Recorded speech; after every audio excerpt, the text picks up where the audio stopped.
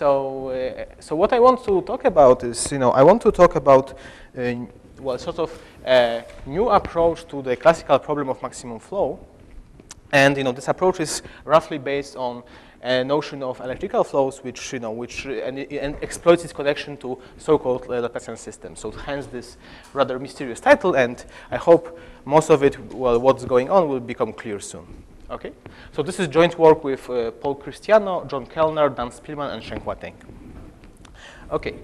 So let's start with the definition of the uh, problem we are uh, we will be concerned here uh, in this talk. So this is the maximum flow problem.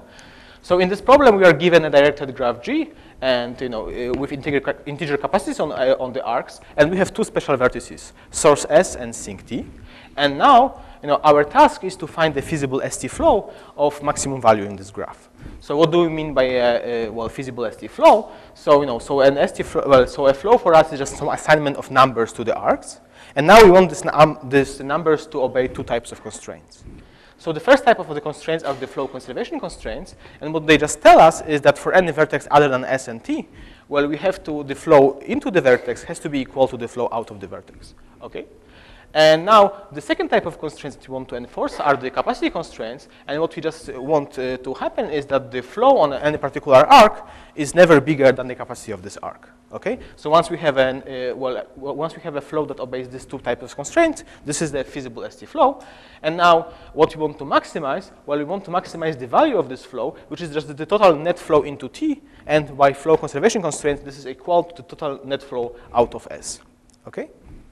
So, you know, here we see that, you know, this flow has a value of 7, but, you know, the actual, uh, the actual value of the max flow here is 10, and, uh, well, here is the flow that achieves this value.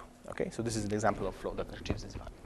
Okay, so this is the problem, and, uh, you know, and well, once you talk, once you talk about the maximum flow problem, then usually you also want to talk about uh, so as, as, well a similar but slightly different problem, namely the minimum ST-cut problem. And so what's happening in the minimum ST-cut problem? Well, what we want to do, well, we are given the same graph, derivative graph with capacitors on arcs, and we have S and T. And what we are looking for is the, well, we want to find an ST-cut in this graph that has minimum capacity. Okay, so what does this uh, mean? Well, so an ST-cut is just a partition of vertices into two pieces such that, you know, S is in one piece and, this, uh, and T is the, in the other piece. So, so any cut that separates S and T is an ST-cut. And now, among all of these ST cuts, what we want to find, well, we want to find the cut that minimizes the capacity.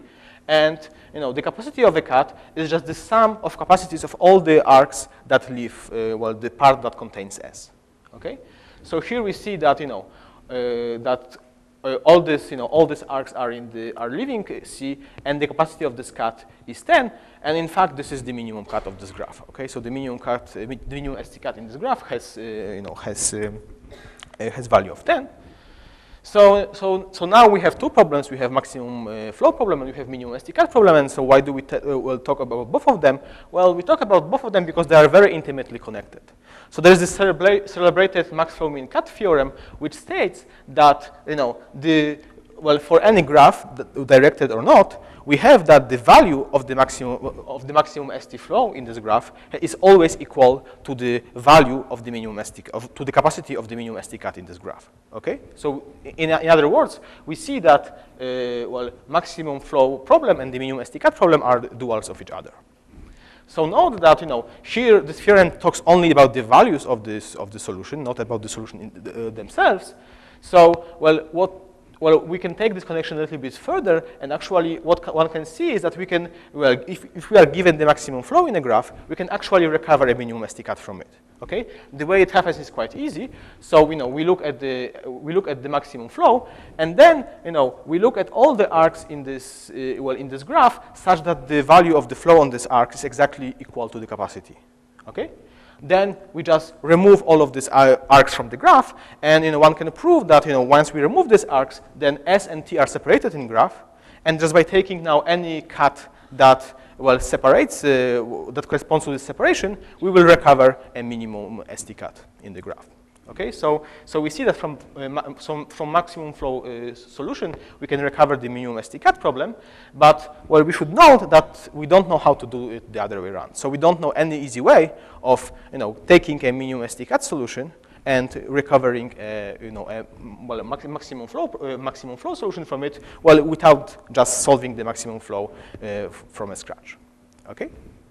So this is the connection between those two problems.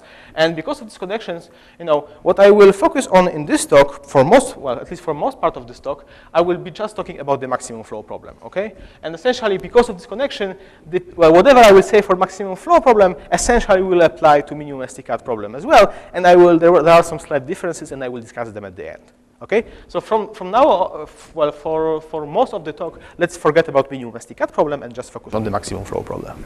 So Okay, so now we have our maximum flow problem, and you know the question is, you know, why do we care about this problem? And you know the answer is quite easy here because well, you can just say that maximum flow problem is you know a fundamental optimization problem, and there are many reasons for that. So the study of this problem started quite a while ago in 1930s, and the reason why there is so much interest in this problem is that it's really broadly applied in practice. So, you know, just if you look at the statement of the problem, you can easily see that there are some, you know, obvious applications to, uh, well, to logistic and transportation. But it turns out that there is, you know, by now there is a host of sometimes quite non-trivial uh, uh, connections that allow that, well, that teach us that you know max flow problem actually you know whenever you are able able to make progress on the maximum max flow problem you are automatically making progress on you know on, on many other fronts. So for instance in you know uh, well in graph partitioning scheduling or computer vision okay? So this is one type of reasons why we care about maximum flow problem. And you know but there is also other reason. So other reason is that sort of maximum flow problem you know was one of these problems whose you know well our quest for understanding well, led to discovery of tools that, well, first we tried to apply to maximum flow problem, but then they, they turned out to be, you know, useful for many other problems. So in a sense, this problem was one of the problems that, uh, you know, that shaped our understanding of computational algorithms. And you know, in particular, you know, whenever you uh, well teach algorithms, you are quite likely to use this problem as a you know as an exposition of some of the concepts, for instance, pri prim primality and duality. And also, you know, so this is just you know, more general conceptual reason, but also somehow once you study the maximum flow problem, it seems that, you know, that trying to make an improvement on these problems, you know, it requires understanding of, you know, of graphs and, and graph algorithms that sort of, you know, that really, you know, whenever you are able to make progress on well, on, on this question, you are usually also able to make progress on some related questions as well. So really, this is problem that we want to focus our attention on because you know, it seems that it captures some, uh, something about the algorithmic graph theory that we really want to understand. Okay? So these are some reasons why we care about the problem.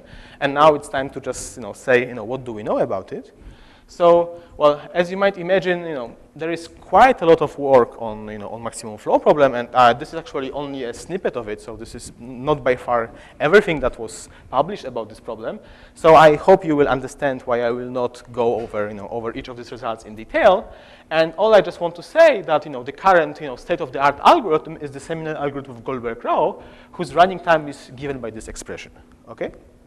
So as we want to focus on the big picture here, so let me just uh, introduce some O tilde notation. So we will use O tilde notation to suppress polylogarithmic factors. And if you are concerned by that, well, the polylogarithmic factors we will be suppressing in the end, they are really not big. So don't be too alarmed by that.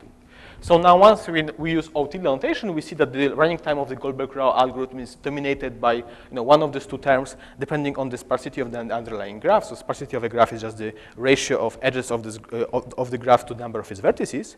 And what I would like to do in this talk, well, I would like to further simplify the, uh, well, the ground here, and I would like to assume that, you know, that our graphs that we are dealing with are sparse. So the number of edges is not much bigger than the number of vertices, okay?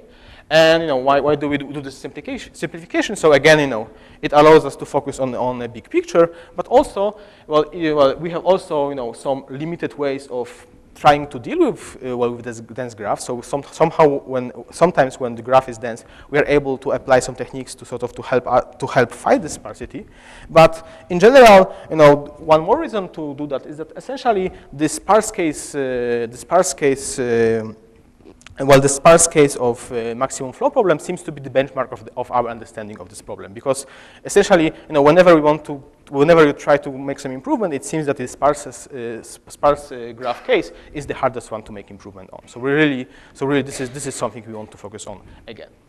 So, you know, so once we, uh, uh, well, once we uh, focus on the sparse graphs, then the running time of the Goldberg-Rao is just, you know, n to the 3 halves, modulo the, the, the polylogarithmic factor. And probably one of the most important questions in algorithmic graph theory nowadays is, you know, whether we can improve this running time. So can you compute maximum flow problem in sparse graphs in time that is, you know, faster than n to the 3 halves? Okay? So this is a well, very important question, and, you know, we, we all try really hard to answer it, but unfortunately, you know, despite the effort, there is not much progress on, you know, on this question so far. In a sense, it's even slightly more, uh, well, slightly worse, because if you just focus on, you know, on a baby case of this problem, in which, you know, all the capacities of the graph are like, all the capacities are just equal to one, then this bound of n to the 3 halves was already known for 35 years and is still standing. So even in the special case, we also don't know how to make an improvement. So we are a bit stuck here, and, you know, and once we realize as a community that we are stuck, then, you know, one of the challenges that, you know, that emerged, you know, the challenge that is understood to be one of the, you know, first steps towards answering the grand challenge is, you know, is trying to, well, do something, well, hopefully simpler. So what we would like to do, well, we would like to well, to solve the maximum flow approximately, so we, with approximation of 1 minus epsilon, and do it only for undirected graphs. Okay, so this is the, this is sort of an intermediate challenge, and you know, know that in this challenge we are settling, you know, for we are giving up on two aspects. Yes, so on one hand we are, you know, settling for approximation instead of optimal solution, and on the other hand we are settling for undirected graphs instead of allowing directed graphs. But you know, actually, the interesting thing is that if we give in only on one of these aspects, then the problem probably does not become simpler. So you can just, you know, whenever you just focus on approximating uh, maximum flow in directed graphs or, you know, solving uh, it optimally in undirected graphs, then you will, uh, you know, you, you can just, uh, well, recover the original problem out of it. So really, you know, to get, well, a hope for a simpler problem, we really need to give in on two of these aspects, okay, on both of these aspects, okay? So now, this is the, well, this is hope, hopefully simpler challenge, but still, you know, even for this simpler challenge, you know, the best known algorithm till now, even when all the capacities are equal to one, is just to use the exact algorithm. So it was not clear how to, you know, how to take advantage of this, you know, relaxed assumptions. And the result I want to discuss today is actually, well, the first progress on this front. And, you know, what we show is that you can actually obtain such a 1 minus epsilon approximation uh, for maximum flow in undirected graphs. And, you know, and the running time that you will get is roughly n to the 4 thirds. Okay? So this is the running time for the case when the graph is sparse. And you know, if, if, if, the graph is dense, then the running time that you will get, you know, it depends on m uh, as, as shown. So essentially, you just have m times n to the one third. And also, we have a similar result for the minimum ST-cut problem. I will discuss it at the end. Okay. So uh, this is the result. So now, you know, let's talk you know, about how well how can you uh, how can you uh, well get this result. So, you know, as usual, it is, you know, when you try to discover something new, it's good to, uh, well, look back and see what were the previous approaches to solving this problem.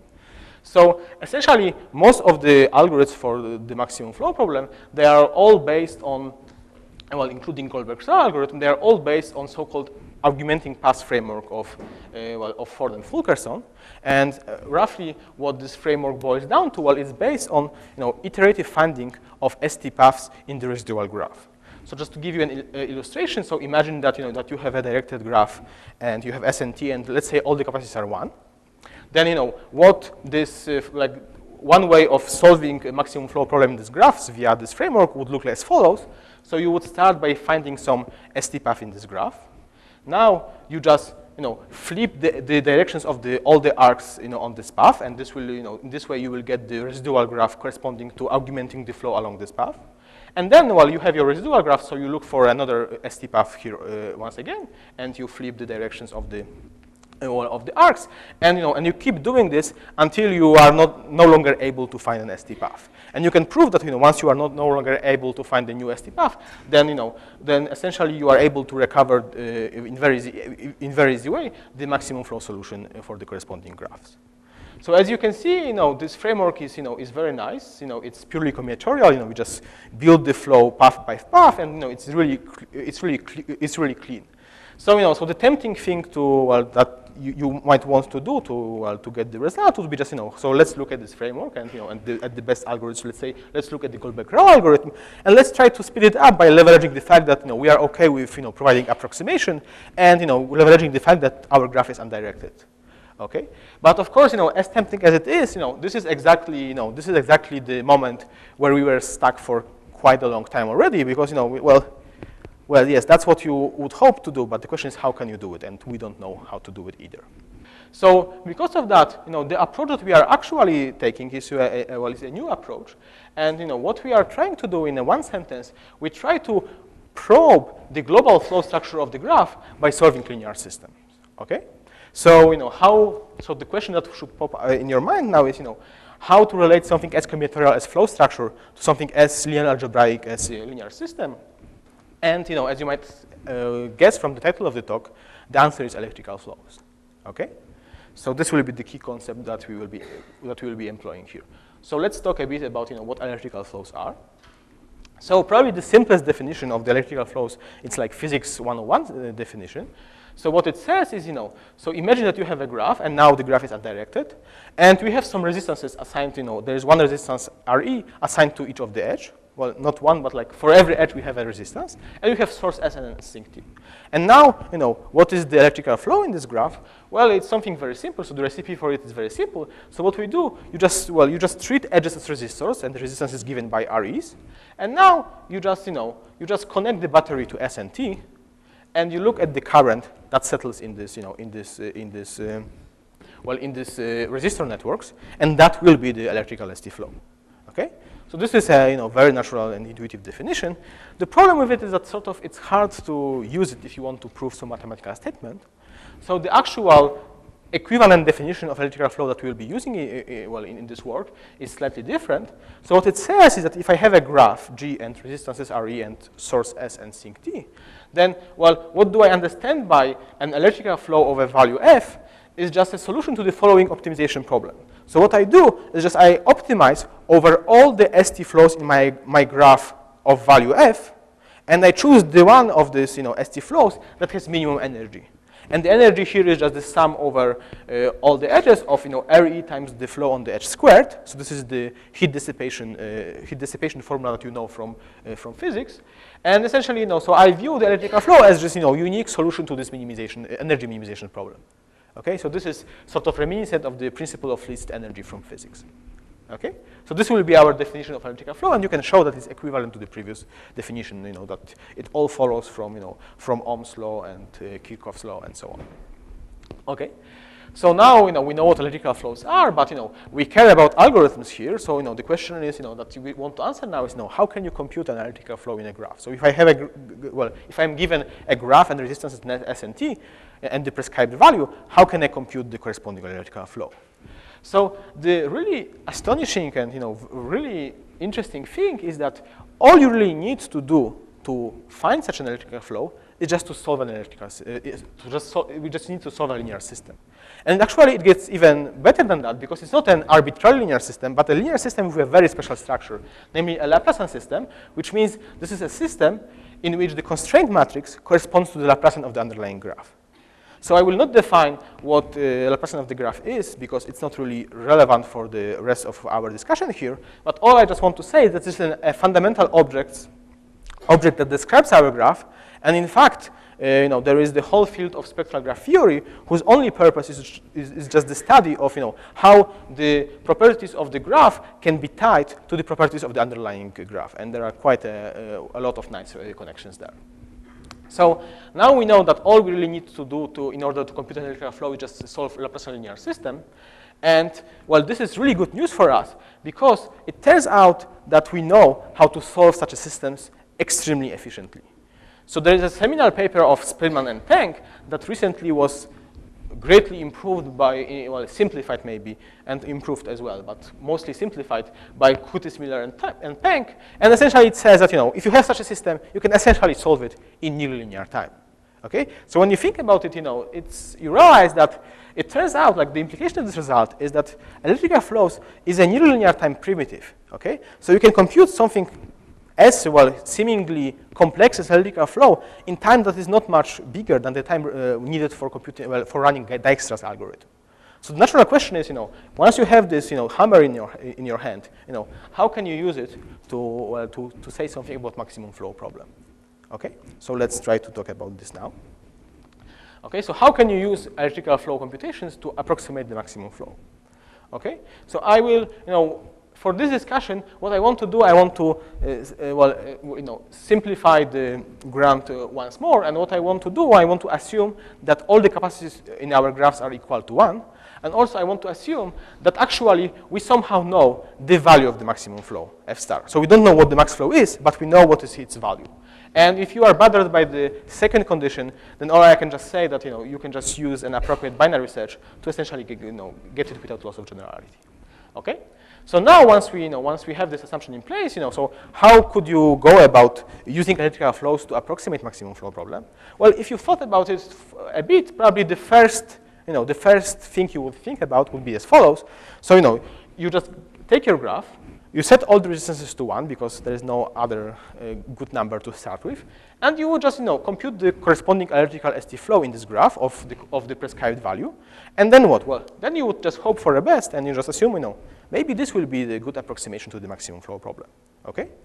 So, you know, so will this, uh, will this, uh, will this approach work? So, any thoughts? Yes, it would be well, way too good if it was true. So uh, unfortunately, this algorithm does not work. And you know, to see why it doesn't work, so this, this was a good example. So imagine the following simple graph that consists of two ST paths. So one is of length one and one, one is of length seven. And you know, if you look at the maximum flow, uh, then you know what it does. Well, it will just send one unit of flow on one path and the one unit of flow on the other path. So the value of the max flow will be two. But if we look at the corresponding electrical flow, then it will favor the lower path much more because its resistance is much, uh, much smaller.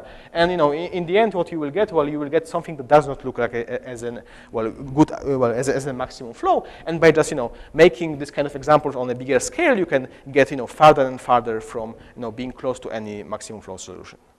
So the way the algorithm is stated here, it does not work. Okay, so the question is, you know, how to fix it. And well, when you realize that and you will think again, then probably you know, the second thought that you will have would be something along these lines. So what you would do, well, you would, you know, you would, uh, uh, uh, you would again start with, you know, all resistances being one. You would compute the electrical flow, but now you would not, you know, return this flow right away because it might not be a good approximation. So what you would do instead, well, you would look at this flow, and you know, if you see some uh, edges that flow way too much flow, you would just you know, increase the resistances just in this way to, to discourage this, you know, this overflow there. And you know, once you updated the resistances, you just repeat the whole thing again. So you just use the resistances to compute the electrical flow uh, again. And, you know, and you will keep doing that until hopefully some convergence happens and, you know, and you want and you hope that you know, the number of iterations that you will need to do to get this convergence will be not too big. Okay? So this is the, you know, the, the second uh, approach you might try. And sort of the really surprising thing is that this approach can actually be made work. And you know, this is in particular the way our algorithm works at the high level. And the only difference that actually uh, there is between our algorithm and this uh, template is that the way we got the final solution is not by looking at the last flow we compute, but by just taking the average of all the flows that we will, uh, well, that we will compute along the way. And uh, it will be made, it will be clear in a second why this is what we do, because it's, at first it looks slightly counterintuitive. Okay? So this is the outline of our algorithm, and you know what I want to do in the well in the reminder is just you know fill in some of the blanks that clearly are there. So let me just recall that you know that in everything that I'm uh, saying here, you know, uh, we are like we are just dealing with undirected graphs. And also we made the simplifying assumption just for the sake of the exposition that all capacities are one, you know, our graph is sparse, and we know the value of the maximum flow f star. Okay? So, you know, so to fill in the blanks, you know, the observation that will be crucial here is just the following. So, you know, imagine that we have some resistances Re, and let's consider the corresponding electrical flow f of value f star. So clearly, you know, if you look at this flow, we don't expect this flow to obey all the capacity constraints. Yes, we just have seen examples when this is bluntly not, not true. However, still, you know, despite the fact that, you know, we cannot hope that all capacities are, are, constraints are satisfied, there is still something we can tell about the feasibility of the, of, of, of the obtained solutions. Namely, what will happen is that, you know, the theoretical flow, eh, flow E will, you know, even though the worst case overflow might be very big, if you look at a particular average overflow, then it will be always, you know, at most what it should be. So it will be always at most one. So the, uh, the average we are looking uh, here, uh, at here is just the weighted average of the flows on the edges when, you know, each, each, uh, uh when each uh, edge is taken in this average proportionally to the value of the resistance. So, you know, so, so, once again, so, you know, in the worst case, you know, the, the worst case overflow here can be extremely big. But if you look at this one particular average, it will be always at most one. So at most, uh, one, at most what it should be. So we see that because of this observation, you know, uh, well, the electrical, uh, the electrical flow computation give us a very fast uh, algorithm that solves, well, the following, you know, very crude version of the maximum flow problem, namely a feasibility on average max flow problem, which essentially asks us, you know, that in addition to the graph and capacities and, and S and T, we are also given some weights, one weight per each uh, edge. And well, what we are asking for, we just want to find a flow of value f star for which this particular average uh, overflow is, well, it's non-existent. So, so the flow, uh, this average is al always at most one. So, you know, the way we, the way we get it is just by, you know, we, we, we just, you know, take WEs as our resistances, okay? And now, so this is a very crude version of the maximum flow problem, but sort of the key point here is that actually we already know a way of, of, you know, of uh, making such a crude algorithm useful to us. And you know, the name of this method is multiplicative weight update method, and this is, you know, this is a, a method that, well, it stems from the work of Freund and Schapire on boosting, and from uh, Plotkin, uh, the work of Plotkin, Shmoys, Tardos on Lagrangian relaxations, and was cleaned up and cast in a uniform, uniform framework by, by Arora, Hazan, and Kale. And essentially, like, you know, in one sentence description, you know, what this multiplicative weights update method is, well, it is a way, it is a technique for turning weak algorithms into strong ones. So what does it mean in our setting? Well, what, what it allows us to do, it allows us to take this crude algorithm that solves you know, this uh, uh, maximum flow problem only with the feasibility on average condition, and by calling it repeatedly with different weights, it allows us to recover you know, the approximate solution to the problem we really care about, namely the maximum flow problem. Okay? So this is, this is the tool that we will use. So how, how can you achieve this, uh, this feat? Well, it's actually very simple, but well, brilliant, but very simple. So the, well, so the basic idea will be, will be as follows. So, you know, imagine we have this, you know, crude algorithm and we treat it as an oracle, like as a black box oracle. And, you know, and well, what we will do, well, we maintain some weights, so one weight per each weight. And initially, all these weights will be equal to one. And well, if you have a black box and we have a weight, you know, there's only one thing you can do. So we just query this, you know, this algorithm with these weights. And what we get uh, uh, in return, well, we get some flow that is, uh, that is of value f star, and it's feasible on average, okay, with respect to these weights. So now, you know, once we got this flow, what we will do, we will update this, uh, this weights based on this flow in, in some way that I will describe, describe later. And now we updated our weights. So what we do, well, we query the algorithm again, and, and we get another flow out of it. And now we update the weights based on this new flow again. And we keep doing that, you know, for some number of time. And what we do, well, at the end, we just return the average of all the flows that we computed along the way. Okay? So it is quite easy to see that you know, the flow, this average of all these uh, FIs will be a flow of value F star because each individual flow will, was an ST flow of value F star. What is you know, not that obvious uh, at first is you know, that actually this, uh, this average will be also a good approximation to the maximum flow. So it will approximately preserve all capacity constraints. So let's see why this is the case. And you know, to explain why this is the case, I have to actually explain to you how, the, how we update the weights, okay? Because I didn't explain it yet. So imagine that we are somewhere in the, well, in the execution of this algorithm, so we have some weights, then we create our algorithm and, you know, and we got a flow, uh, we, get a, we got a flow in return, and now we have to update weights. So the way we update weights is just like we just do it individually, edge by edge, and we just update uh, well, and we just update each of the weights in a multiplicative man uh, manner. So this is well, this is where the name of the method is coming from, and this multiplicative manner is proportional to the epsilon, which is our desired accuracy parameter, and uh, well, the value of the flow on this edge in this flow f, and is normalized by something I called uh, rho f, which is essentially the largest edge overflow that f incurs. And the reason why we are uh, that we are uh, why we are normalizing here, we just want to make sure that this multiplicative update is something between one and one plus epsilon, because in this way we will make sure that the evolution of this weight is smooth enough, so we can you know prove some things about you know how it how it evolves. Okay. So, well, well, well, so this is the way uh, this is the way the uh, weights are updated. And now, once you have these updates, you know the dynamics that the dynamics that emerges out of it is just as following. So, you know, if you fix your attention of you know of any particular edge, then of course, you know, it can suffer some large overflow from time to time. But you know, whenever it suffers a large overflow, its well, its weight grows rapidly. Yes, it grows at exponential rate.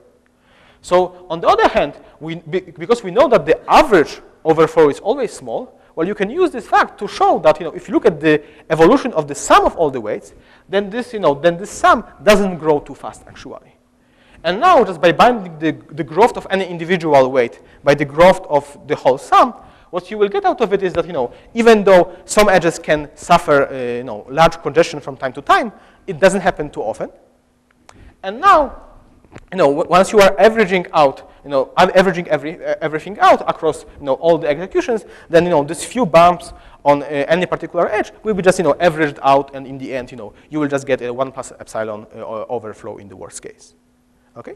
So this is the intuition which allows you to prove, you know, to, to, to, to prove something. And you know, once you make it precise, and it's really very, very simple, but beautiful, but very, very simple proof. And you know, and what you can prove is that you know, once uh, you take, well, you make roughly rho over epsilon square uh, iteration of this procedure, then you will indeed recover the one minus epsilon approximation to maximum flow problem. And rho here is just, you know, it's called the width of the oracle, and this is just the largest overflow that we ever encounter okay? And just to see why we have this, like, note that in a sense, we, we really need to have this dependence on rho in the number of iterations, because even if we have one bump of value rho, then to average it out, you know, we have to have at least rho iterations. So in, in a sense, these bumps are essentially tight, okay? So now, you know, uh, this was, you know, about the multiplicative weights update method and the question, you know, why this is interesting to us. And I already said that. Uh, well, it's interesting to us because, you know, electrical flow computation corresponds exactly to this crude algorithm for the maximum flow problem that we need here. So all we just need to do, well, we just can, you know, use this, uh, these ideas from multiplicative, multiplicative, weight, uh, multiplicative weight update method and, you know, use them to, to, to, well, to fill our template. So here is our template again. And now, you know, what we just do, well, we just make the convergence condition to, well, we make it very simple. We just, we just say that, you know, we just do this until, you know, rho over epsilon square iteration have passed. And the way we update the resistance is, well, this is exactly the, multi we do it accordingly to the multiplicative weight uh, update rule. Okay? So once we fill in this template as, as it is here, then it's, you know, by, we just know that, you know, the algorithm that we will get, it will indeed return the approximate solution to the maximum flow problem. And its running time will be, you know, rho epsilon squared times, you know, uh, O tilde of n, because, you know, each, each, each computation of electrical flow is just in linear time. So we, we get out of it, you know, an n rho over epsilon square algorithm that computes uh, the, the maximum flow problem, uh, uh, well, approximately. So now we know almost everything that we need, well, except one tiny detail, because you know the question is you know what is you know what is this worst case bound on the uh, overflow rho? So what is the width of the you know of our electrical flow computations? Because you know we have to determine it to know what will be the running time of the algorithm. Okay. So you know uh, let, let, let us ponder on this question for a minute. So you know so what can be the largest overflow that you know electrical flow might produce? And you know so first let's note that let's note that you know if all the resistances are one then there is a very simple proof that shows that this overflow will never be bigger than, well, roughly square root of n. Okay, so how does this proof uh, goes? Well, it's very simple. So just it consists of two steps. So in first steps, we just want to establish some upper bound on the on the on the energy of the electrical flow. Okay, how do we do this? Well, we just we do is by just looking first at you know at at uh, the energy of some particular ST flow value f star, namely the max flow. So we don't know much about the max flow, but well, one thing that we really know about it is that well, it has it is of value f star, and also we know that flow on every individual edge is never bigger than one. So if we look at the energy of this max flow, then this will be just sum of this, you know, of these flows on each particular edge, and you know, so in, in the worst case, it will be well, it will be never bigger than m. So we know that the energy of, of max flow is never bigger than m. But now we recall that the definition of electrical flow is that, you know, that the energy of uh, electrical flow is just the minimum you know, over energy of any uh, ST flow of value f star. So in particular, it cannot be bigger than the energy of the, uh, well, of the max flow. So we know that the energy of electrical flow that we compute is never bigger than m. Okay? So that's the first step. And now the second step, you know, is almost immediate. So now we just fix our attention on any particular edge, and we just look at the square of the flow on it. Clearly, you know, this, this is only one of the term in the expression for the, uh, well, on the energy of the electrical flow. So we know that, you know, the square of the flow will be never bigger than m. But now we just take, you know, square roots of both sides, and we use the fact that our graph is sparse, and we recover the desired square root of n bound. Okay? So, so this is the proof. So we see that, you know, that if all the resistances are 1, then this uh, worst case bound is just square root of n. But, you know, but sort of, well, the problem is that once the, uh, we allow the resistances to be non-uniform, then actually there is no, uh, no bound that we can really supply. And to see why this is the case, well, you, you just need to imagine that, you know, you have one edge which has extremely tiny resistance. And as a result, you know, it might be very, like the electrical flow might be very likely to put all its flow on this particular edge because it will minimize energy. And, you know, there is not much you can do here. So you can get really, really bad overflow. So this is a problem, but also there's a very easy fix for that. So what we just do, well, we just add some tiny, small, uh, constant, uh, well, component to each of the resistance, just to ensure that there is no uh, edge in our graph whose resistance is much smaller than the average resistance. And once you, once you do that, you know, you just repeat the same, essentially the same proof, proof I just uh, showed you, and you will get that, you know, uh, well, after this operation, you will never have bigger overflow than square root uh, over, over epsilon, okay, which is completely fine with us. And in this way, we upper bounded the worst case overflow, and we get, you know, an algorithm that runs in time n to the 3 halves. So, you know, everything is nice and easy, but the problem is that, you know, n to the 3 halves is not what I, what I well, promised you, because we, are, we already know how to compute the flow exactly in this time. So how to get, you know, the, the desired improvement, so how to get the n to the 4 thirds uh, time, well, let's talk about this now. So, you know, clearly by the structure of the algorithm, we see that, you know, what we want to focus on is just minimizing the number of electrical flow computations, because this is the basic computation we are doing. So attempting where, you know, of doing that is just, you know, well, we had this, you know, very easy, but also, you know, clearly not optimal proof of, you know, of the worst case, uh, of the worst case upper bound on the overflow rho. So if you are able to get a better proof, you will, we will immediately get a, we will immediately get better, uh, well, upper bound on the running time of the algorithm. So, you know, so, so how about improving this upper bound? Well, unfortunately, well, despite the fact that the proof might look a little bit, you know, wasteful because we just use the energy to bound, you know, the, just the contribution of one particular edge, it actually is essentially tight. And here's an example that shows that. So imagine a graph which consists of roughly square root of n paths, and each of these paths, except the last one, is of uh, length uh, uh, roughly square root of n. So clearly, if you look at the max flow, then it will just send one unit of flow uh, on each path, and the value of the max flow will be uh, uh, square root of n, okay? But then, if we look at the electrical flow corresponding to this graph, then we will see that this, you know, one short-cutting edge would be, you know, vastly preferred, and essentially it will essentially get roughly, well, half of the flow, which will be square root of n. So we see that in this graph, even when all the, uh, even when all the resistances are one, we get already this, square, this worst case square root of n uh, overflow. So so that's a trouble because, you know, what can we do now? Yes, like we, this approach that we really were hoping for doesn't work. But nice thing about this example is that, you know, even though this is the sort of the worst case example for our upper bound, it actually gives us a hint, you know, what should we do to make things better? So the observation that we should make here is that, you know, so like if we look at this graph and we just remove this one short-cutting edge, so what will happen? So on one hand, you know, the value of max flow in this graph will not change much. Yes, like we just removed one edge, and there is like, and the value of the max flow is square root of n. So we just reduce the value of the max flow by one over square root of n fraction, which is completely acceptable for us. But on the other hand, if you look at the electrical flow in the graph after the removal of this edge, then it's, you know, dramatically better behaved. Yes, now it's actually the max flow in the, like the electrical flow corresponds to the max flow in the remaining graph. So, well, here it worked for this particular example, and that's very nice. But you know, the question is, you know, can we always repeat this kind of trick? So can we turn this observation into an algorithmic idea? And you know, as you might imagine, the answer is yes. And you know, so essentially, what we are doing, where we will try to modify our crude algorithm that is based on electrical flow computations to make sure that it self-enforces smaller overflow rho prime, okay? So how would, w- how would we do this uh, self, uh, self-enforcement? Well, we'll do it in the most, uh, well, the, the simplest possible way. So what we will do? Well, we will do the following. So the way we modify the algorithm is the following. So it will, once again, given the weight, it computes the resistances and it computes the flow corresponding to it. But it does not return this flow right away.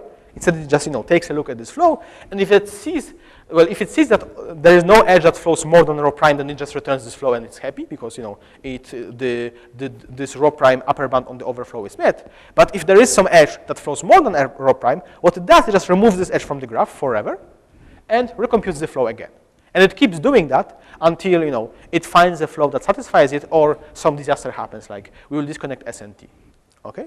So the nice thing about this, uh, this modification is that you know clearly you know if this algorithm always successfully terminates, then the, you know, the worst case overflow of this, uh, of this uh, algorithm will be rho prime by definition. So that's a very good thing. But of course, the question is, you know, how do we choose rho prime so to you know, ensure that you know, it always successfully terminates? Okay? So note that you know it's uh, you know it, there are some some two things that two issues that we have to counterbalance. So on one hand, we would like rho prime to be as small as possible because it will make the uh, width of our oracles well as, uh, as small as possible.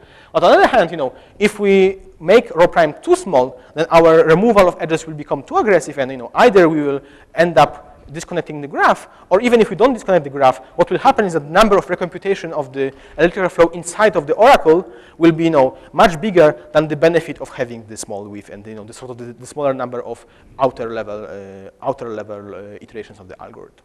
So the question is, you know, what is the, the best way of choosing rho prime? And it turns out that, you know, surprisingly, the, you know, the, the sweet spot here is just setting rho prime to be roughly n to the one-third.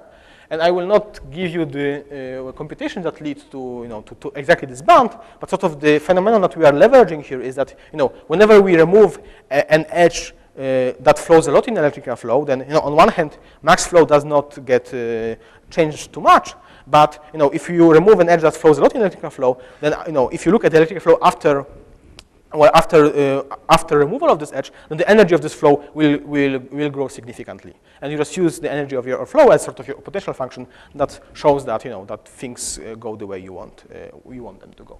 So we, I will not go uh, any further into that, but this is the basic idea. So, okay, so, you know, so this is the, this is the sweet spot, and, you know, this is exactly the way we get the desired n to the four thirds algorithm, okay? So now, you know, let me just wrap up by you know, going back to the minimum ST-cut problem and saying a few words about that. So, you know, as I said, you know, by this, you know, uh, well, as I said, you know, we know that there is this tight connection between maximum flow problem and minimum ST-cut problem. In particular, we can use, you know, and uh, well, we can use the maximum flow solution to get the, the minimum ST-cut problem. So as a result, because of that, since well, all the previous algorithms were, you know, were computing, well, essentially all the previous algorithms for minimum ST-cut are based on, you know, running the maximum flow algorithm and just using the, the, using the procedure that I showed to you to obtain the minimum ST-cut. And, you know, as a result, you know, the, the picture for minimum ST-cut is essentially the same uh, as for the as for the maximum flow problem. The only difference is that actually, when we care about, you know, the uh, only minimum ST-cut problem, then we know that we can always assume that our graph is essentially sparse without loss of generality. And this is the, like the beautiful uh, cut sparsifier uh, construction of Benczúr and Karger. So you know, whenever you have a graph, it can be dense. There is a very, very efficient procedure that you know gives you a different graph that is all, well, that is sparse. And you know, and whenever you are able to find um, well approximate minimum ST cut in this uh, well in this new graph, uh, well you, it immediately will be also approximately a minimum ST cut in the original graph. So we, we have sort of this sparsity condition without uh, loss of generality. So, you know, so that's, well, well, that's all good. And, you know, and as I said, we also have a result for minimum ST-cut problem, which whose running time is similar to the running time of the, of the max flow algorithm. But, uh, well, there is one caveat here. So, you know, so what, what well, well, in the light of what I just said, you would think that this, this, uh, this, uh, well, this result is completely not interesting because, you know, all you can do is just use the previous max flow algorithm and get minimum ST-cut out of it. But that, well, that approach will not really work because the problem here is that we only know how to get an, you know, optimal minimum ST-cut out of the optimal maximum flow.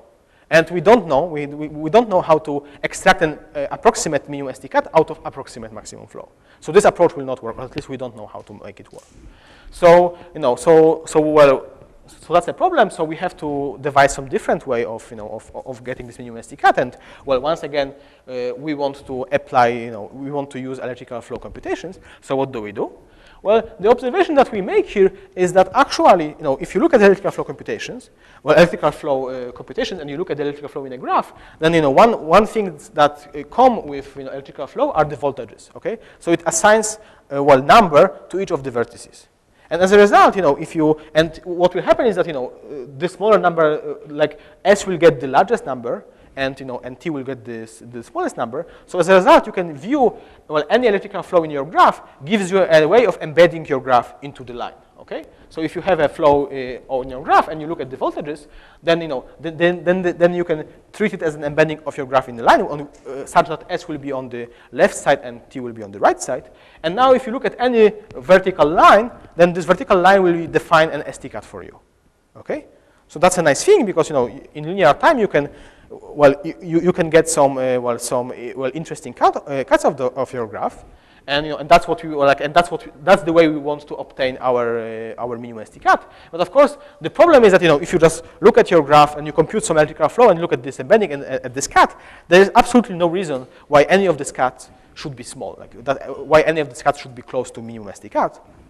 So, well, to fix this problem, we sort of we well, we use similar approach to the one that we used uh, when Maxflow, uh, when the, you know, the sort of the simplistic Maxflow algorithm didn't work. So what we do, well, you know, we just, you know, we just start by, you know, all the resistances being one. We compute the electrical flow, look at the bending and look at this, at this vertical cuts. And if none of these cuts is good, what we do, we just increase the resistances on the edges that, you know, that, uh, that flow too much. And, you know, once we did that, you know, we recompute the flow again with these new resistances. And, you know, and we look for, you know, and we look for, for the cut, well, for a good cut again. If we don't find it, we just, we do the same. And, you know, and what you can prove is that, you know, if you make this update rule uh, appropriate, so it will be very similar to the, to the update rule that we were, we, that we are having for the maximum flow problem, then, well, you have a guarantee that after at most roughly n to the one-third iterations, you are guaranteed to find, you know, to, you are guaranteed to find, uh, well, a good cut among these vertical cuts essentially what will happen is that uh, you know you will get like it will turn out that most of the resistance resistance resistance in your graph will be focused on on, on some of the minimum ST cuts, and in this way it will be exposed in this vertical in this in, well it will be exposed in this embedding into the line. So so this, this is the way, the, well, this is the way our minimum ST cut algorithm works, and the core of the analysis actually turns out to be very similar to the to what was happening for the maximum flow problem, even though the algorithms are seemingly completely different. And in particular, here we get our solution out of the last flow we compute. We don't take any averages here. Okay, so this is the minimum ST cut algorithm. So now let me just conclude and state some open problems. So yes, so what we presented here is the, the well approximate algorithm for maximum ST flow and minimum ST cut problem. And of course, you know, the natural question here would be, you know, so we, we, managed to get some progress on maximum flow problem using electrical flows, but the question is, you know, how far can we take this approach? So in particular, you know, can we take this approach to yield a, you know, nonlinear time algorithm that, well, that gives us an exact, uh, an exact solution to the maximum flow problem? So, you know, so in particular, well, this is the big question, and, you know, and we can break it down into, into smaller questions. So First question is, you know, can you make a, a variant of this algorithm run in linear time? So actually, so what I should say at this point is actually, well, we know by now that our analysis of the running time of our Maxflow algorithm is tight. So, you know, if you look at the algorithm the way it is stated, it actually, in the worst case, uh, runs in this, you know, n to the fourth time. So there is some modification you need to, to make. But, you know, is it, is it possible to make a modification that will actually yield a near linear time running time? So that's the first question. And the second question, in a sense, even bolder one is, you know, can we make these ideas work for directed graphs? Okay, so everything we, we were doing here was only about directed graphs. So the question is, can we do something that will imply some results for the directed graphs? Okay? And at first it might look at you know, complete uh, wishful thinking because even the notion, like we don't know how to compute an electrical flow in a directed graph, yes? Like we just don't know how to enforce that, you know, that the flow is always going in the right direction uh, well, along the edges. But, well, actually it's not that bad because notice that I told you that if you are able to solve uh, maximum flow problem exactly in undirected graphs, then this immediately gives you a result for directed graphs. So essentially, all you really need to be able to do to get exact algorithm for directed graphs is just, you know, to be able to find an approximate algorithm for undirected graphs, but you know, the only thing that has to change is that the dependence on error has to be logarithmic instead of polynomial, as in our approach. So once you are able to get the logarithmic dependence of the running time on, the, on your accuracy, you know, you, everything, everything follows through, okay? So that's, a, so that's an interesting question to do. But I should mention that you know, the problem with doing that is that, uh, well, it's clear that if, we want, if you want to do that, you have to change the algorithm entirely. So because the problem is that the multiplicative weight updates method, actually this polynomial dependence on the error is, you know, is inherent there. So you really have to use something, some, some, some, different, uh, some different approach of using electrical flows to get, to get, to get this better dependence on, on, uh, on epsilon. So these are the open questions about uh, the maximum flow problem, but I also would like to make a more general well, open questions here. So sort of, you know, I view this, uh, this result as one of the, well, yet another example of, you know, when bridging linear algebra, algebra and computational algorithms, you know, yielded something interesting. So of course, we know, you know, a classical success story in this regime, namely the eigenvalue connection, when we show that, you know, that looking at the uh, spectrum of the, of the Laplacian, in particular at its, uh, well, second, uh, second smallest eigenvalue, gives us, you know, some understanding of, you know, of mixing time of the random walks, or, well, we are able to do the spectral partitioning, a very, very good uh, partitioning method. So, so the question is, you know, well, this is what we are able to achieve with just looking at, you know, essentially at this lambda 2. So, you know, can we make this connection, you know, can we go beyond that? Yeah? So, so now if you look at electrical flow, it actually seems to capture much more information about the Laplacian than just, you know, its uh, second smallest eigenvalue. So maybe, you know, by using it, you know, you are able to get some new insight into the known problem or may, maybe even get some tools for yet unknown problem. So, so there is a couple of candidates when I, I, I think it's it might be possible to get something better. So one candidate is just would be to use electrical flows to get even better spectral partitioning. So, you know, so the spectral partitioning that we know today, it's based on looking at the uh, eigenvector corresponding to the second smallest eigenvalue. But, you know, how about, well, using the embedding of the graph uh, given by the electrical flow and, you know, and, and, and looking at the vertical cut. And maybe, you know, maybe if there is a good way of updating the resistances, maybe you are always guaranteed to get some nice cut. So that's one direction to explore. Another directions are, you know, sort of, you would like to use this kind of electrical flow paradigm to get results also for, you know, for other version of, uh, of, of uh, flow problems. So you would like to think about multi-commodity flow problems or maybe minimum cost flow problems. And as far as I, uh, as far as I know, uh, Richard Peng and uh, Gary Miller, they have some results that get better approximation for uh, multi-commodity flow problems based on this, this framework and this kind of reasoning. So by, by using electrical flows. And uh, yeah, so and, and this is exactly the question. So you know, so once you have this big hammer in, in the form of electrical flows, you know, the question is, you know, where else can you use it to, to get something interesting? And I hope that you will be, you know, you will have some nice ideas and something interesting will emerge. Thank you.